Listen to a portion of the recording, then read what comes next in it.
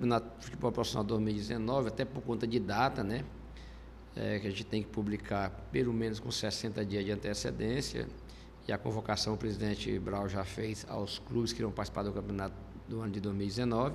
Está marcado o arbitral para amanhã às 16 horas, até porque em relação ao ano de 2018 a forma de disputa vai mudar um pouco, não vai ser mais naquele padrão do ano passado de um turno, ida e volta, né? Nós teremos dois turnos, né? Mesmo com as seis equipes, onde as quatro primeiras equipes serão classificadas, né? Irão jogar em apenas uma única partida, primeira contra o quarto, segundo contra o terceiro.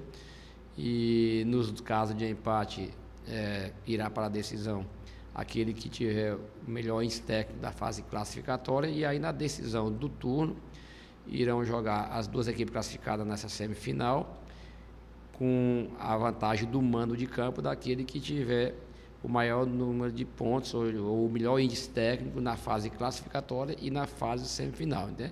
Então, em resumo, a, a, a, diferença do ano passado, do ano de 2018, é que no ano de 2019 nós teremos o campeão do primeiro turno, o campeão do segundo turno, até para motivar mais, né, e a decisão do Campeonato Piauiense. Já também decidido como fica a distribuição de vagas de competições nacionais, como Copa do Nordeste, Copa do Brasil e Campeonato Brasileiro?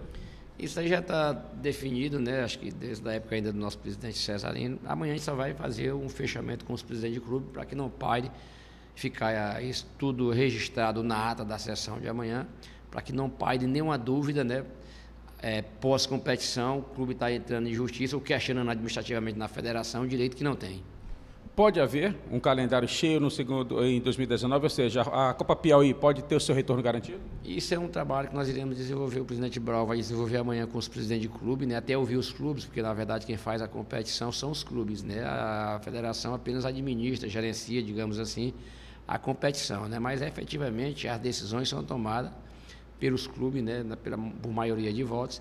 E amanhã nós vamos apresentar o calendário da federação para a temporada 2019 e ouvir sugestões é, dos seis presidentes de clube. Mas no que diz respeito às competições de primeiro e segundo semestre do ano que vem, até por conta da Copa, da Copa América, que vai ser realizada no Brasil, já estão previstas pela federação, em reunião que nós fizemos ainda com o presidente Cesarino e agora novamente com o presidente Brau e com o Daniel, nosso diretor do departamento de futebol, é, para nós fecharmos amanhã com os presidentes de clubes se nós iremos alterar essa programação, essa proposta da federação ou não.